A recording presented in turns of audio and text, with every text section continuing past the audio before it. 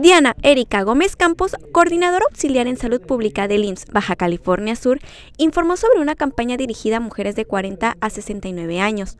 Esta iniciativa tiene como objetivo promover la realización de mastografías, un método que utiliza rayos X para detectar lesiones muy pequeñas que no son palpables en un examen simple.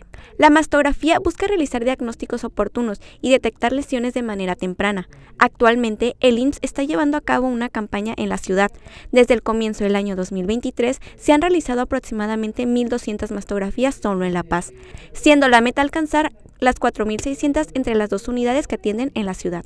Las dos unidades de salud en La Paz encargadas de realizar las mastografías son la Unidad de Medicina Familiar número 34 y el Hospital General de Zona Medicina Familiar número 1.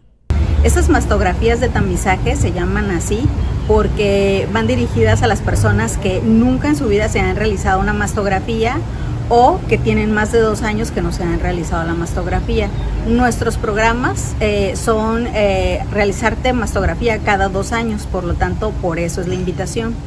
Eh, cuando acuden a nuestros módulos, las mujeres de este grupo de edad, se les realiza una exploración clínica por personal capacitado, personal de enfermería y les hacemos una solicitud.